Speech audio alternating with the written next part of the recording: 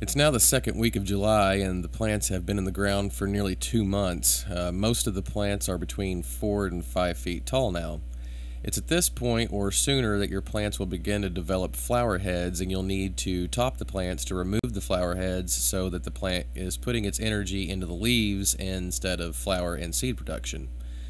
When you see the flower heads beginning to develop, simply pinch them off just above the top leaves. If you're growing more than one variety and would like to harvest the seeds, you'll need to bag the flower heads to prevent cross pollination with other varieties, resulting in hybrid seeds. First, you'll need some bags, and here is how I make my own. I'm using a sheer nylon material. I believe this was a tablecloth overlay. A pillowcase or something like that is not recommended as it will saturate and get really heavy when it uh, rains and possibly topple over the plant. It needs to be a sheer nylon material or something similar. Uh, this won't get heavy with water, it lets light in and allows the plant to breathe. Make a rectangle about 1 feet by 2 feet and fold it over so it's about 12 inches square. Next, use some scissors to cut the sides, making it about a foot wide at the top and about 6 or 7 inches wide at the bottom. Once I have it all cut out, I just use some duct tape to seam together the sides.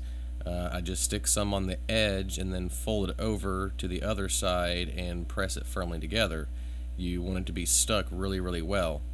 Uh, you can, of course, buy some bags instead of making them. Uh, just run a search on organza bags on the internet and get some bags that are at least 12 by 12. Uh, anything smaller may be too constricting as the flower head grows and fills the bag. Once you have your bags, uh, select two of the strongest and healthiest plants of each of the varieties you would like to save seeds from.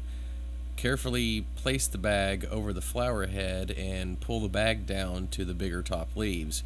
If you put a few of the really smaller leaves inside the bag, that's fine. It's not really anything to worry about.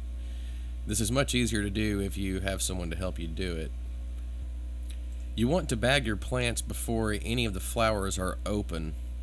Uh, once you have your bag in place, bunch it up at the bottom and take some string and wrap it around the stalk three or four times, then tie a double knot. Uh, then I usually wrap it around another time or two and double knot it again. Wrap the string with just a slight pressure. Uh, you don't want to over tighten it and choke the plant. The flowers will eventually grow to fill this bag completely. Next we'll be removing suckers. Uh, what exactly is a sucker? Well, a sucker starts out as a new set of small leaves that forms at the base of a leaf stem where it meets the stalk. Uh, if left to grow, it will eventually form a side stalk like a branch of a tree so it's best to pinch them off early. Uh, they sap energy from the other leaves just like flower heads. Here's an example of a sucker that has been left on too long. Uh, it's already started to form a stalk and another smaller sucker uh, is on the leaf right below that so we'll be removing that as well remove every sucker you can find and do it just as soon as you see them. The, the sooner you do it, the better. You may notice several days after topping your plants that suckers will begin to develop from where the flower heads used to be. Uh, and the suckers will be forming flower heads of their own. You want to make sure to remove these as well to ensure they don't cross-pollinate with your bag plants or drain the energy from the plant they're on. Uh, you want all the plant's energy going into ripening the leaves. You may notice some of your plants are not growing evenly. Uh, these two Havana plants pictured here are side by side, yet one is about 5 feet tall while the other is only about 3.5. That's why I bagged the largest one to save the seeds and topped the flower head off the smaller one. Uh, it doesn't possess the kind of traits that you would want to pass on to the next plants that you grow.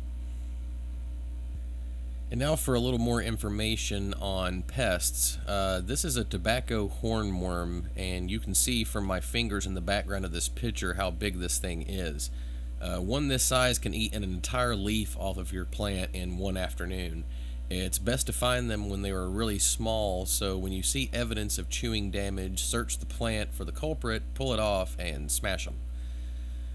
Other bugs are beneficial. Uh, this is a ladybug larva. Their favorite thing to eat is aphids. So if you see one of these on your plant, just leave it alone because he's doing you a favor.